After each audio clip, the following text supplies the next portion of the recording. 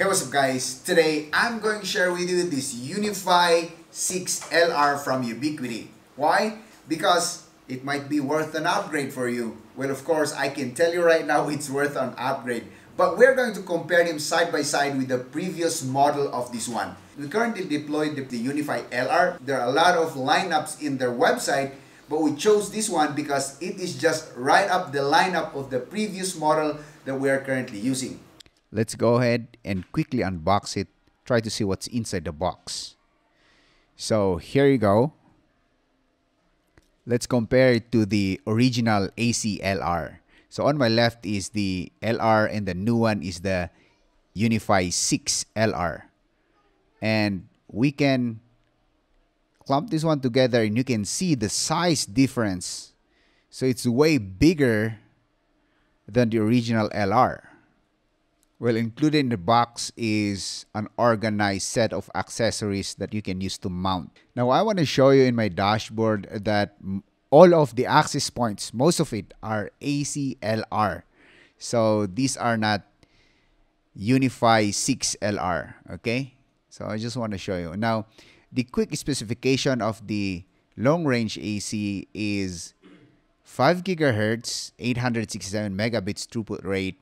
Then you have the 2.4 which is 450 and of course the coverage which is around 180 meters or 600 feet. Now the price range is 109 USD. Now let's compare this one with the stat sheet of UniFi 6 long range, which stands for LR, and the 6 kind of identifies that Wi-Fi 6, the new technology, which has 5 gigahertz 4x4 up and down with 2.4 gigahertz 4x4 as well, and a big bump in speed, which is 3.0 gigabits. But of course, you will have also a big bump on price, which is $179. Now here's a graphical overview which we compare both 124% speed increase from APACLR to UniFi 6 long range. You can see the numbers 3200 megabits per second versus 1317 megabits per second. Now, of course, with the coverage, you can see it is multiplied by 2, where in your LR around 600 feet, of course, your UniFi 6 long range would multiply that by 2, which is 1,200 feet, square feet okay? So it can go 300 distinct client connections. Now what I'm going to do guys is connect this UniFi 6 LR into our existing Wi-Fi network. This will be a big upgrade and maybe sooner or later we'll start to upgrade those old uh, ACLR access points in our network but this will be the very first one. Now, of course, we know that Wi-Fi 6 is the new generation technology for Wi-Fi devices. But of course, take in account that you cannot use Wi-Fi 6 technology if your devices are not Wi-Fi 6 capable, okay? So there you go, it's going to light up and here on my dashboard, it will just jump in here and say, we have detected a new device. Do you want to adopt this one or add it to your network? Of course, that's what I want to do. So I'm just going to go ahead and click add. Then we're just going to wait for a moment here. I'll try to locate that. Um, this is not the page where we can see that one. So let's jump into devices. Then here, down below here, you have U6LR. It has been detected and it has been up for two minutes. It's starting to update this one and add it to the network in my time here, I timed this one. It will take you about 8 minutes plus reboot to add this one to the existing network and it can be usable right away without any configuration. The only thing you're going to do is just click add and this will do the rest of the things.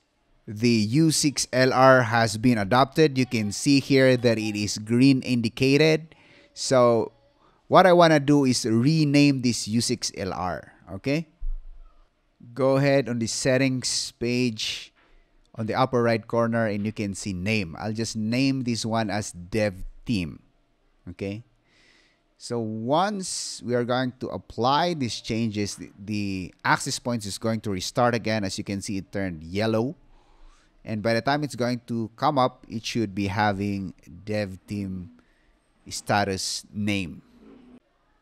All right, here we go. Dev team is up and running. There are no clients connected to it yet. So I just want to go and um, check on that. You can see it here, U6LR dev team. I want to check it on the topology on how it is connected so that we can have an overview of it. So there you go. You can see that dev team right just there.